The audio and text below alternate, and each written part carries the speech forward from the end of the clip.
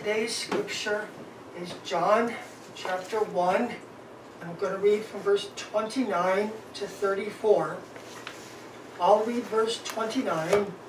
You read verse 30. And we'll alternate and read the last verse together. Okay, are you Jimbihe? Yes, okay. The next day, John saw Jesus coming toward him and said, Behold, the Lamb of God who takes away the sin of the world. This is he of whom I said, After me comes a man who is uh, preferred before me, for he was before me. I did not know him, but that he should be revealed to Israel. Therefore I came baptizing with water. And John bore witness, saying, I saw the Spirit descending from heaven like a dove, and he remained upon him. I did not know him, but he who sent me to baptize with water said to me, Upon whom you see the Spirit descending and remaining on him, this is he who baptizes with the Holy Spirit. And I have seen and testify that this is the Son of God. In ancient Greece, there is the myth of Icarus, who was, who was, who was imprisoned on an island, and Icarus' father made him false wings of wax. And with these wings, Icarus was allowed to escape from the island that he was imprisoned on. But, but Icarus was warned, don't fly too close to the sun. If you fly too close to the sun, your wings will melt away. Now I think this sermon, as we read John chapter 1, verse 29, the next day John saw Jesus coming toward him and said, Behold, behold, look with wonder. The NIV says, look, and right at these words, behold. See, Icarus, he, he had a problem that he wanted to be so close to the sun. Icarus wanted to see the sun, and as he flew higher and higher, these wax wings that he had fell off, and he fell into the sea. And when we come to John chapter 1, verse 29, behold with amazement. Look with wonder. John is saying something marvelous is here. And I want to talk about this decision because if we look in this direction that John the Baptist is pointing, if we look to the Lamb of God, there's a cost. We will lose our false wings. There's a reward. And this sermon is about the cost of looking to the sun and the reward of looking to the Son, the Lamb of God. Now, now we could be prudent. The, the advice that Icarus had, don't fly so high. Don't fly so low stay at a safe distance. There, there's a danger if you go to this sun. Be safe. Remain at a distance. But, but John the Baptist, he says, Behold, come close. And this sermon is about three false wings that we lose should we behold the Son. The first false wing we lose are our plans. The second false wing we lose are our righteousness. And the third false wing we lose are our truth. So, now, John chapter 1, verse 30, John the Baptist testimony. This was the one I meant when I said, A man who comes after me has surpassed me, because he was before me. God is faithful from the past. God is faithful to the future. John the Baptist, he puts himself in the middle. John chapter 1 verse 30. This is he whom I said, after me comes a man who is preferred before me, for he was before me. John the Baptist puts himself in the middle. Jesus is both after him, Jesus is both before him. now, now when we drive the car, we have a GPS. It's a computer that gives us a map and it tells us how to go from one point to another. And sometimes we have our yearly plan. And this is our GPS. What are we going to do from month to month? What is my plan for this year? For my career, for my family, for my health? What, what plan do I have?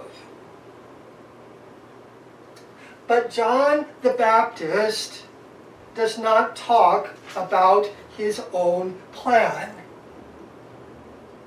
John the Baptist, John chapter 1 verse 30, he's talking about God's faithful plan. John the Baptist understands I am within God's faithful plan.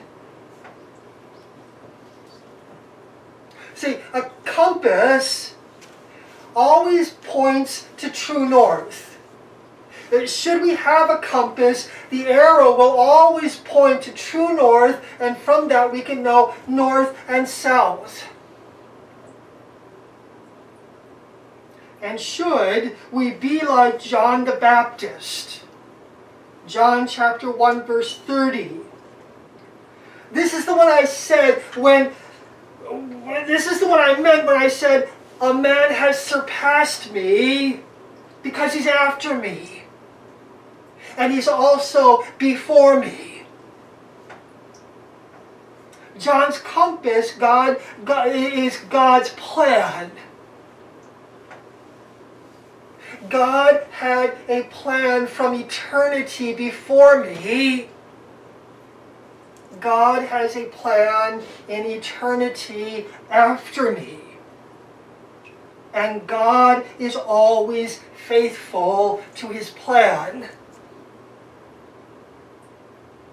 See, in John the Baptist compass, one direction points past second direction points future. But John the Baptist understands I am within God's faithful plan. Hope understands God's plan. Faith sees God's plan. Should we read in Hebrews 11, verse 13, about the saints of old living by faith? All these people were still living by faith when they died. And they did not receive the things promised. They only saw them and welcomed them from a distance.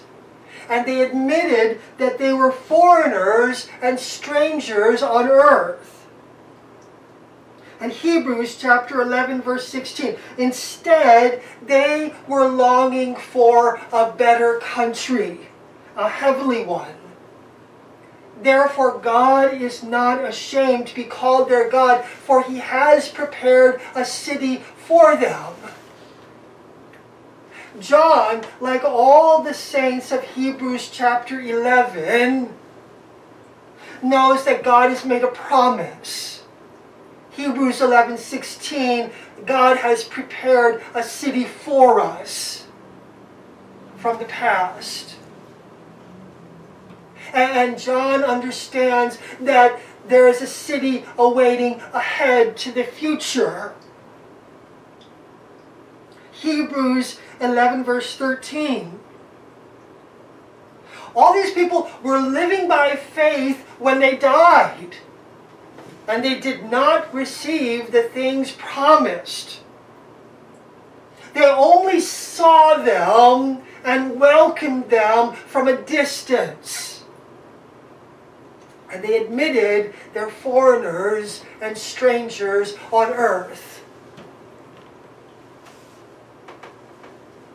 John the Baptist says, I know God is faithful to his plan. God made all these promises in the Old Testament. God promised Abraham descendants. Genesis chapter 15 verse 5. He took him outside and said, Look up at the sky and count the stars, if indeed you can count them. Then he said to him, So shall your offspring be. God promised David a son. 2 Samuel chapter 7 verse 12. When your days are fulfilled and you rest with your fathers, I will set up your seed after you who will come from your own body, and I will establish his kingdom. He shall build a house for my name, and I will establish the throne of his kingdom forever. 2 Samuel 7, verse 12 and 13. God speaks of his Son. Psalm chapter 2, verse 6. Yet I have set my King on my holy hill of Zion. I will declare the decree.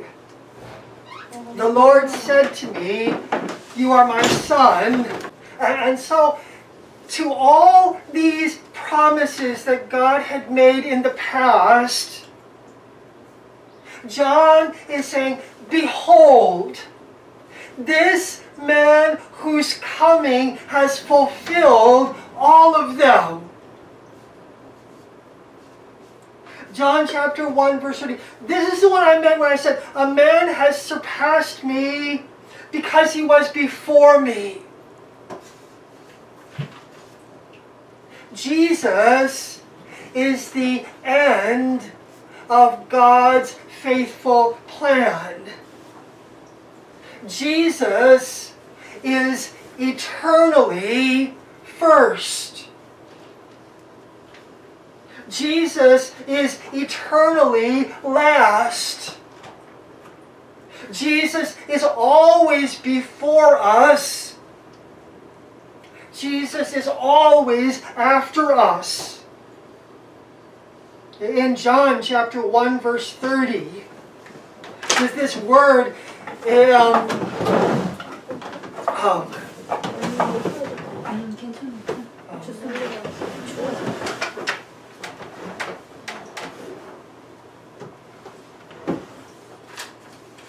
when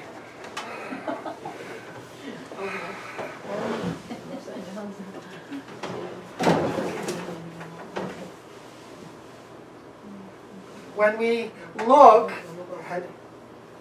when we look at John chapter 1 verse 30 the most literal reading the most literal Greek I had this is he as to who it was said after me comes a man who was before me because first of me he was. Um, where, where, where, it says, he was before me, my Allen New Testament, first of me, protos of me, he was. Jesus is first. Jesus is the image of God we were created in. God is first. When, when God speaks of himself, Isaiah chapter 48, verse 12, Listen to me, Jacob. Listen to me, Israel, whom I have called. I am he. I am the first, and I am the last. Only God speaks of himself as first and last. Only Jesus speaks of himself as first and last. Revelation 22, verse 12. And behold, I am coming quickly. My reward is with me to give to everyone according to their work. I am the Alpha and the Omega, the beginning and the end, the first, eternally first, and the last. No man can be at two places at the same time, two opposite places. But John chapter 1 verse 30 Isaiah 48 12. God is outside of time. God is not bound by time. God from eternity made a plan for His glory. And John the Baptist knows God is faithful to His plan. So, so if God is faithful to his plan, John 1.30, a man comes after me who has surpassed me because he was before me. What is God's plan? Who is God's plan for? God's plan is for sinners. John chapter 1, verse 29. Behold, the Lamb of God who takes away the sin of the world. John again is pointing to Jesus' uniqueness, Jesus' sinlessness. God is holy. God is good. God has no darkness in him. And the Lamb of God, God's sinless offering, the unique Son of God. Behold, God's Son from before the beginning to after the end without sin.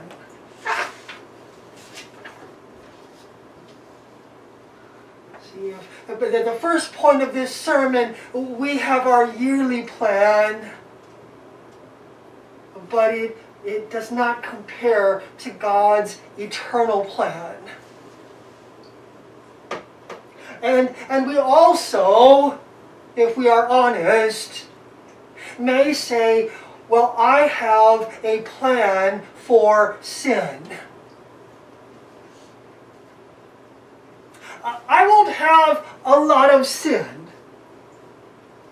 Yes, I, I did lose my temper with that person five years ago. And yes, I did drink a lot in my younger days. But that was a long time ago. My plan for sin is I just won't have a lot. I'll be basically good. God will forgive me because I'm basically a good person who's nice to my neighbors. I only have sin, just a little. No big deal. You know, even if there is a God, He'll be forgiving. I'm a mostly pretty good person. I've been faithful to my wife. I've raised my children. I've done everything mostly pretty good. But should we look, John chapter 1, verse 29, behold, God has his own plan for sin. And whatever our plan to deal with sin is, our righteousness, our self righteousness, like these wings of wax. When we turn to the sun, all of our self righteousness and our appraisal of sin, they fall down like Icarus's wings.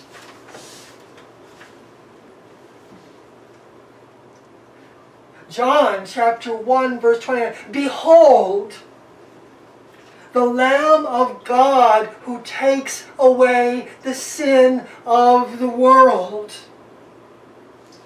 By our calculation, we consider sin small. God considers all sin deadly. Cain sinned. He killed his brother. Cain found out sin brings punishment. Genesis chapter 4, verse 13. Cain said to the Lord, My punishment is more than I can bear. The Israelites sinned. Numbers chapter 14, verse 18. Numbers 14. They rebelled against God.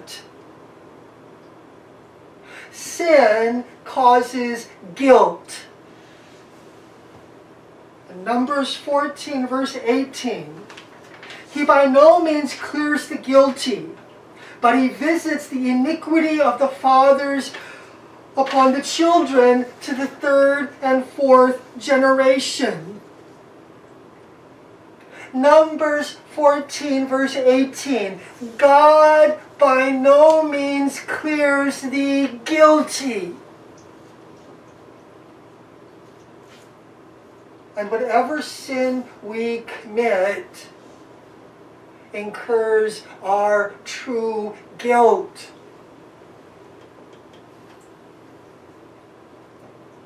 Sin makes us slaves. The cost of sin is freedom, true freedom. Proverbs chapter 5, verse 22. His own iniquities entrap the wicked man, and he is caught in the cords of his sin. Where, where Proverbs 5.22 says, the cords of his sin. It means sin has grasped us. It has taken hold of us and will not let us go. So when John the Baptist says, Behold the Lamb of God who takes away the sin of the world, Jesus bore our punishment. Jesus bore our guilt. And Jesus ends our slavery. Isaiah chapter 53, verse 12.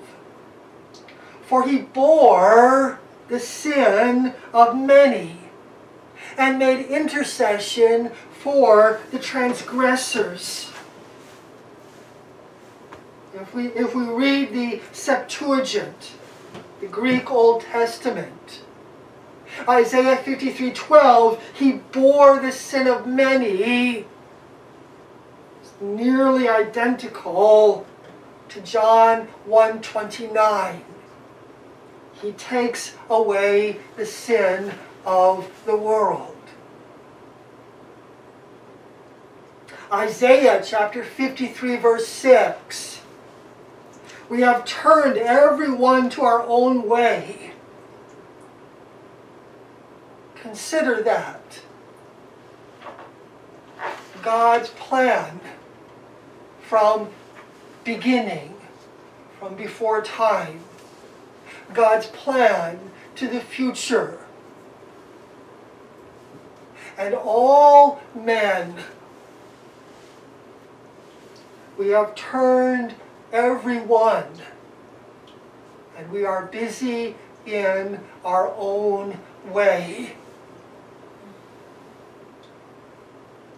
In Isaiah 53 6, the Lord has laid on him the iniquity of us all.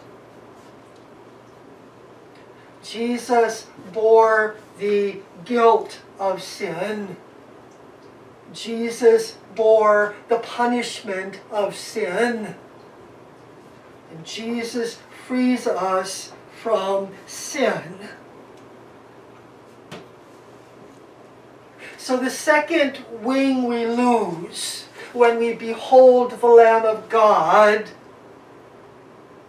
are false are, are, are, are false wings of our own righteousness.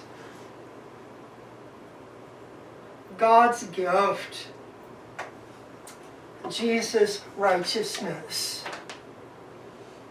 Romans 8, verse 1 and 2. There is therefore now no condemnation for those who are in Christ, Christ Jesus. And what does God, what is the cost to behold the Lamb? Admit we are a sinner. Admit we have gone our own way. Psalm 32, verse 5. Then I acknowledged my sin to you and did not cover up my iniquity. I said, I will confess my transgressions to the Lord, and you forgave the guilt of my sin. Psalm 32, verse 1. Blessed is the one whose transgressions are forgiven, whose sins are covered. Blessed is the one whose sin the Lord will not count against them, and in whose spirit is no deceit. Behold the Lamb. By faith, Jesus' righteousness is ours. He died to take away our guilt, our punishment, our sin. By faith in Him, we have righteousness. We are given righteousness by faith in Him. So, so, so far, we have had two costs of obeying this command at John 129. Behold the Lamb of God.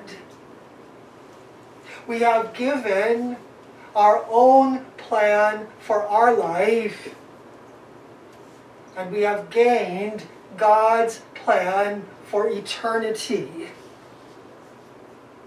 We have given our own plan for dealing with sin, our righteousness, and we have gained Jesus' grace for our sins.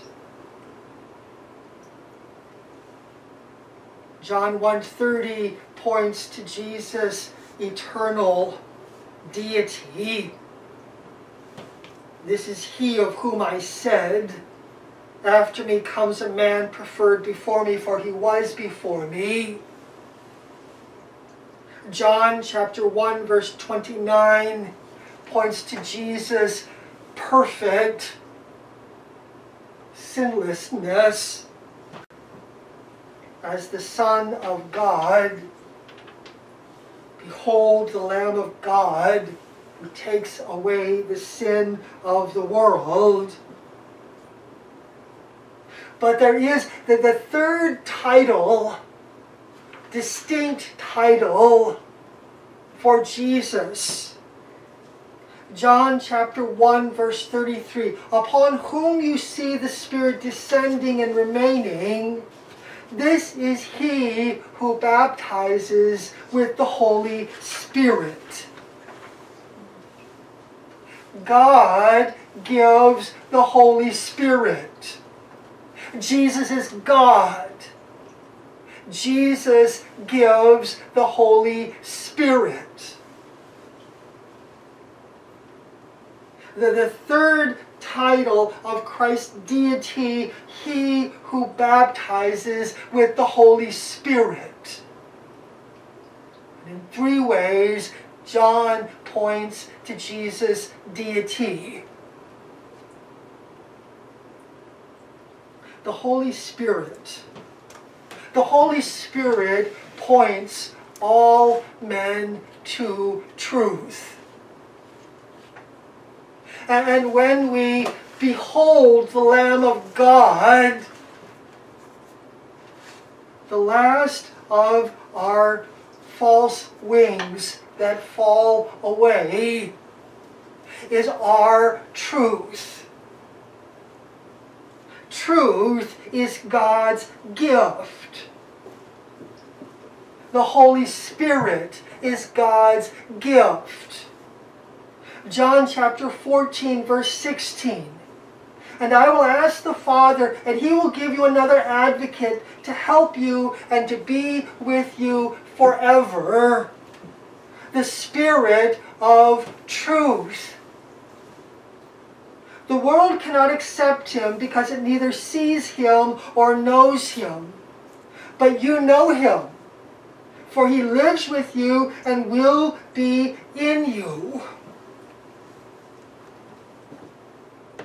The Holy Spirit points us to truth. Why? I hope as you read the Bible day by day and week by week, what, what compulsion points you to God's Word? Why come to this lonely coffee shop to sing hymns and hear God's word.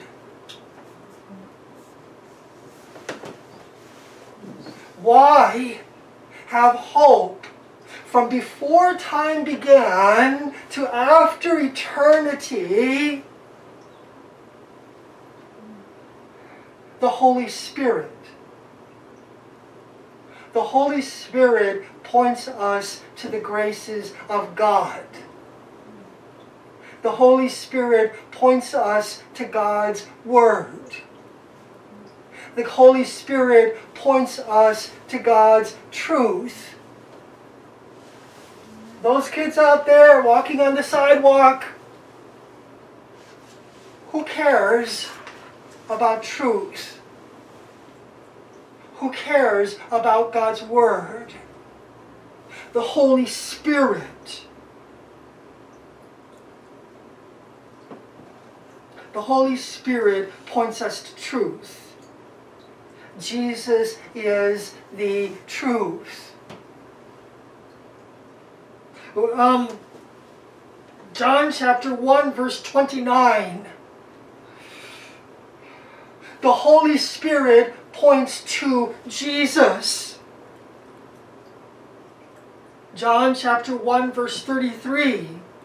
I did not know him, but he who sent me to baptize with water said, Upon whom you see the Spirit descending and remaining upon him, the Holy Spirit descended on Jesus. The Holy Spirit pointed to Jesus. He is God's truth.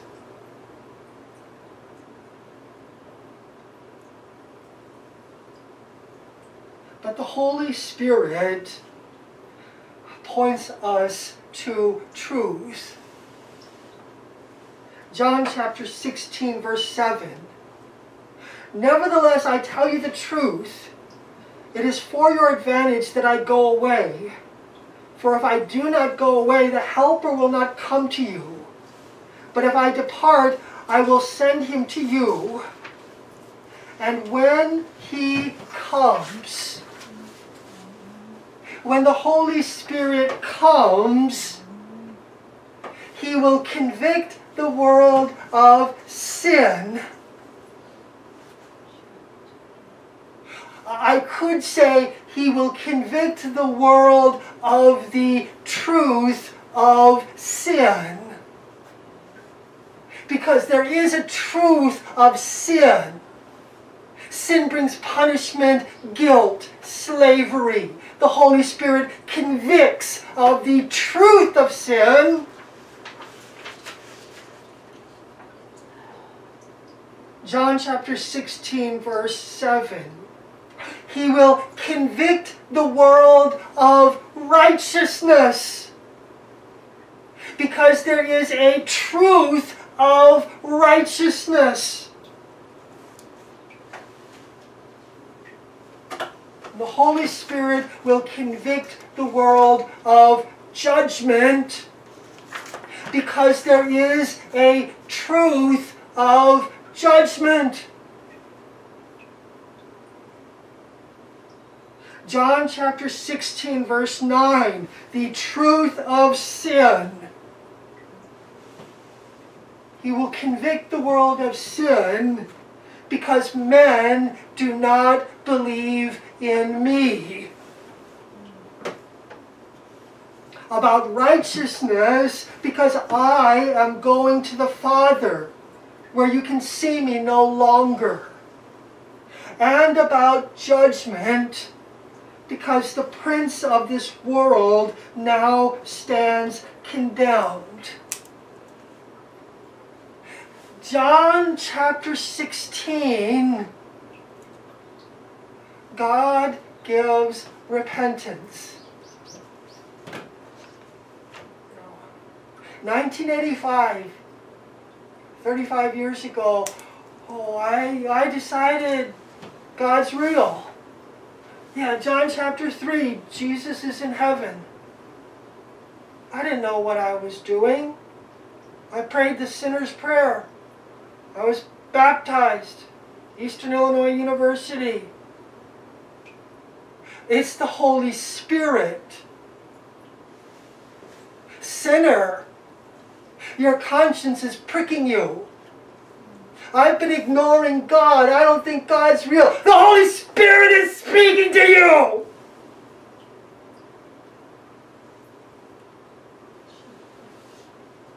The Holy Spirit uses truth. John chapter 16, verse 8. This word convict.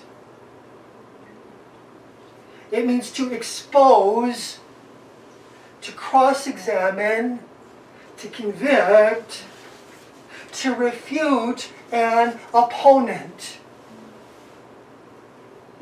And the Holy Spirit, with the preaching of the gospel, with the work of the church, the Holy Spirit is constantly pointing the sinner to the truth. And the sinner, in love with sin, in slavery to sin, suppresses the truth. The Holy Spirit's weapon, truth, repentance.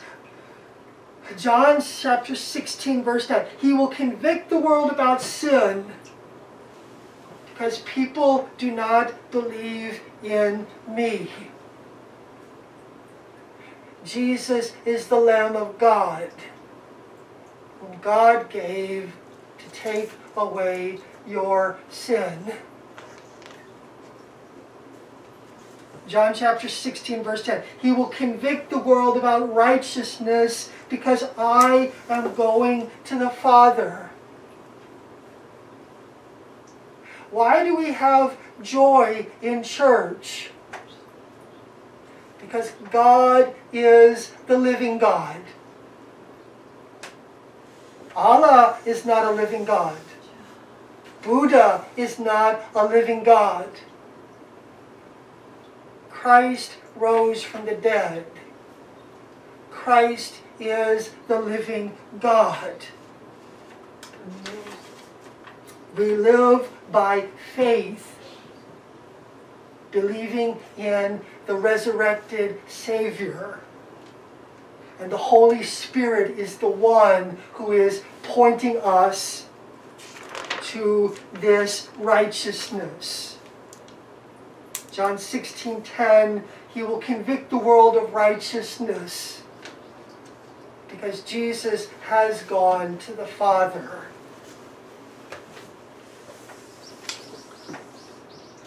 John chapter 16 verse 11. He will prove the world to be wrong about judgment because the prince of this world now stands condemned. The Holy Spirit points us to the reality of Satan, the prince of this world. John chapter 12, verse 31. Now is the time for the judgment of this world. Now the prince of this world will be driven out. It's in your bulletin on the back side. 1 John chapter 5 verse 19. We know that we are of God and the whole world lies under the sway of the wicked one. Jesus gives us victory over Satan. By faith in Jesus, we have entered God's kingdom and we have left Satan's kingdom. But the third false wing that falls away is our truth. The Holy Spirit gives God's truth. John 16, 7 through 11. Jesus is our sacrifice for sin. Jesus is our hope for eternal life, our righteousness. And Jesus has rescued us from the kingdom of Satan. The Holy Spirit teaches. The Holy Spirit abides with us forever. 1 John 3, verse 24. Now he who keeps his commandments abides in him, and he in him. And, and by this we know that he abides in us, because we keep his commandments. The Holy Spirit continually teaches us with God's Word, with Jesus' commandments. Hebrews chapter 10, verse 14 to 17. For by one sacrifice he has made perfect forever those who are being made holy. Jesus, one sacrifice, has made us perfect, justified before God forever. But then Hebrews chapter 10, verse 14 those who are being made holy. The Holy Spirit makes us like God. The Holy Spirit separates us to be holy like God. Hebrews chapter 10, verse 15 and 16. The Holy Spirit testifies about this. First, he says, This is the covenant I will make with them after that time, says the Lord. I will put my laws on their hearts and write them on their minds. And their sins and lawless acts I will remember no more. The Holy Spirit writes God's laws on our hearts. The Holy Spirit writes God's laws on our minds. He points us to God's Word, making us holy. So, so this sermon has been an invitation John chapter 1, verse 29. Behold the Lamb.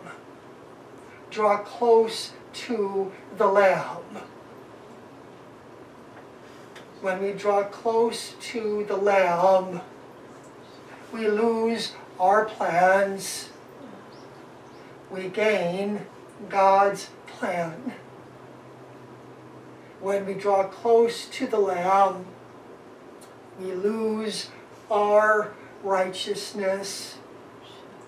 We gain Jesus' righteousness. And the Holy Spirit who is calling us. We lose our truth and we become servants and testify to God's truth. Jesus is the atonement for our sin. Jesus is the hope of eternal life. Jesus is the victory over the devil. Behold the Lamb who takes away the sin of the world. God's grace lead us to his Son. God's grace free us as we continue to behold and live in his Son. Uh, let's pray. Uh, Father, we thank you for this day. Thank you for your word. Pray that you give us grace and, and continue to encourage us to be your servants. And just be with us this year and, and teach us your ways. It's in your Son Jesus' name we pray. Amen. Amen.